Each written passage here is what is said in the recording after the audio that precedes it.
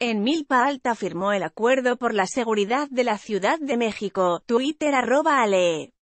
Barrales SM, Alejandra Barrales, candidata de la coalición por la Ciudad de México al frente, visitó las delegaciones Iztapalapa, Xochimilco y Milpa Alta este sábado. En Iztapalapa se reunió con promotores del voto del partido Movimiento Ciudadano. En Xochimilco celebró una asamblea vacinal con miles de simpatizantes del PAN, PRD y Movimiento Ciudadano.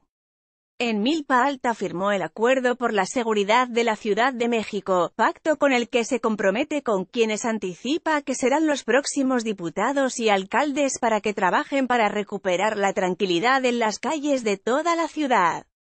Aseguró que su candidatura sigue con tendencia al alza y que ganará, entre otras cosas, gracias al voto útil.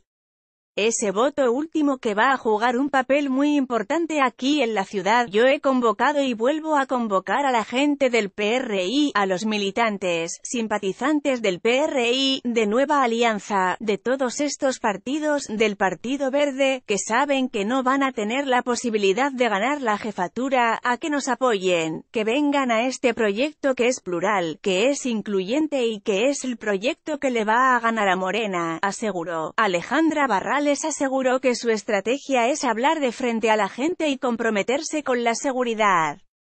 Con información de Alejandra Barrales y seguir leyendo, Jaime Rodríguez hace campaña a caballo en Querétaro.